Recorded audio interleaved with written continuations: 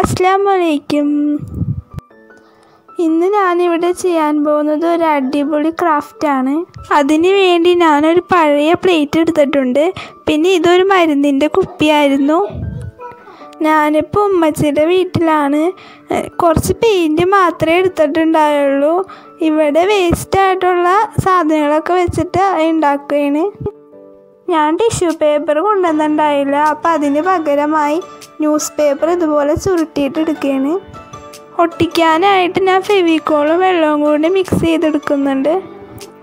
ഫ്ലസ് quake ഉപയോഗിച്ചിട്ട് പ്ലേറ്റിലോട്ട് കുപ്പി ഒട്ടിച്ചു കൊടുക്കുകയാണ് ഇനി നമ്മൾ നേരത്തെ ചുരുട്ടി വെച്ച ന്യൂസ് പേപ്പർ ഒട്ടിച്ചു കൊടുക്കാം ന്യൂസ് പേപ്പറിനേലും നല്ലത് ടിഷ്യൂ പേപ്പറാണ് ന്യൂസ് പേപ്പർ ഒട്ടാനായിട്ട് നല്ല പാടായിരുന്നു. ഇതാണ് നമ്മുടെ ഇന്നത്തെ താരം. ഇതെന്താണെന്ന് മനസ്സിലായോ? ജാതിക്കായയുടെ പുറത്തുള്ള ചെല്ലാണിത്. ഇതിവിടെ കളയാൻ വെച്ചതായിരുന്നു. അതുകൊണ്ട് ഇത് വെച്ച് ക്രാഫ്റ്റ് ചെയ്യാമെന്ന് വിചാരിച്ചു. പിന്നെ ഇതുപോലത്തെ ഒരു ക്രാഫ്റ്റ് ഞാൻ ഇന്നേ വരെ കണ്ടിട്ടില്ല. പെട്ടെന്നൊരു ഐഡിയ തോന്നിയതാണ്. എനിക്കിതൊന്ന് യൂട്യൂബിൽ ആദ്യമായിട്ടാണ്. ആദ്യം തന്നെ ഇതിലൊരു കോട്ട് വൈറ്റ് പെയിന്റ് അടിച്ചു കൊടുക്കുകയാണ്. വൈറ്റ് പെയിന്റ് അടിച്ചു കൊടുക്കുന്നത് എന്താണെന്ന് വെച്ചാൽ ഇതൊരു ഡാർക്ക് കളറല്ലേ അപ്പോൾ ഇതിന്റെ മേലിൽ വേറെ പെയിന്റ് അടിച്ചതിന് ആ ഷെയ്ഡ് കാണും. അപ്പോൾ ഫിനിഷിങ് ഉണ്ടാവില്ല.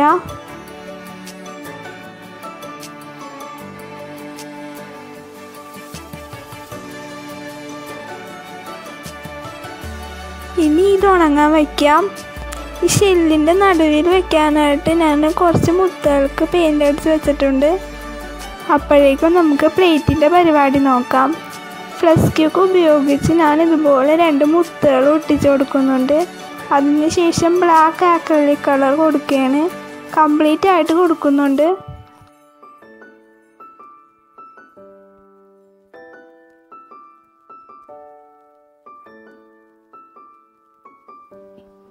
ഇത് പേൾ റോസാണ് ഇനി ഈ ഷെൽസിനെല്ലാം പെയിന്റ് അടിക്കാം. ആദ്യമേ ഒരു കോട്ട് വൈറ്റ് കൊടുക്കുന്നതുകൊണ്ട് നല്ല ഫിനിഷിങ് ഉണ്ടാവും. പേൾ കളർ ആയതുകൊണ്ട് നല്ല തിളക്കമുണ്ട്.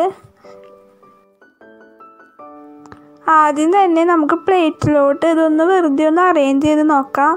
എന്നിട്ട് ഒട്ടിച്ചാൽ മതി. ഒട്ടിക്കാനായിട്ട് ഞാൻ എടുത്തേക്കുന്നത് ഫ്ലസ് ക്യൂക്ക് തന്നെയാണ്.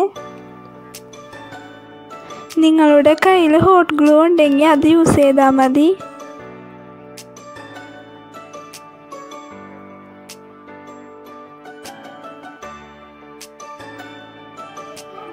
ഇനി ഇതിന്റെ നടുവിൽ ഇതുപോലെ മുത്തൊട്ടിച്ച് കൊടുക്കുകയാണ്.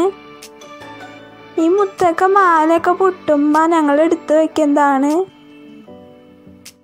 പെയിന്റും ഗ്ലൂവും അല്ലാതെ കാശ് കൊടുത്ത് വാങ്ങിക്കുന്ന ഒന്നും ഇതിൽ ഉപയോഗിച്ചിട്ടില്ല. എല്ലാ വേസ്റ്റ് മെറ്റീരിയൽസ് തന്നെയാണ്. ഇനി ഈ മുത്തുകൾക്കെല്ലാം പെയിന്റ് അടിക്കാം.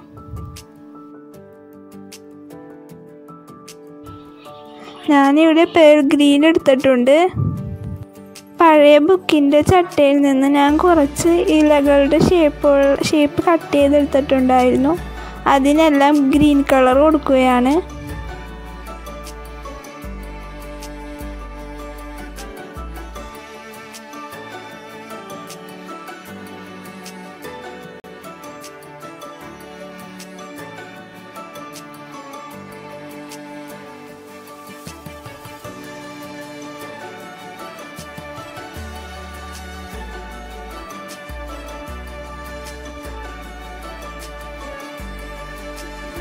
ഇത് കോപ്പർ മെറ്റാലിക് കളറാണ് ഇനി ഈ കളർ ഉപയോഗിച്ച് ഞാൻ ഹൈലൈറ്റ് ചെയ്ത് കൊടുക്കുകയാണ്.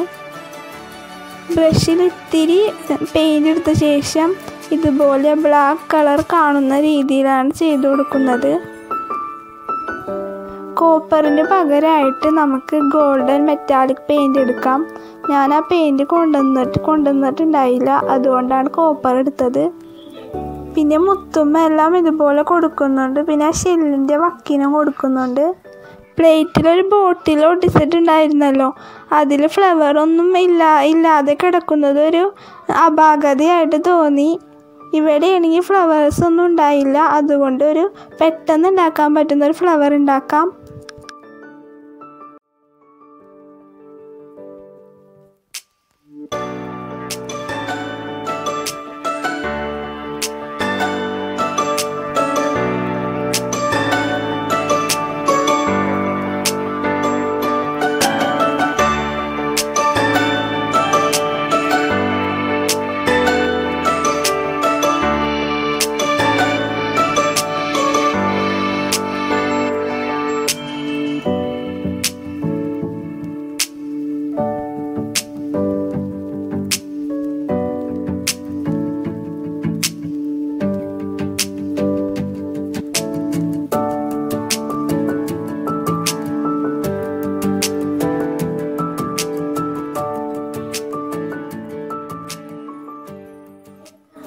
നമ്മുടെ വോൾഡക്കർ ഇവിടെ റെഡി ആയിട്ടുണ്ട്.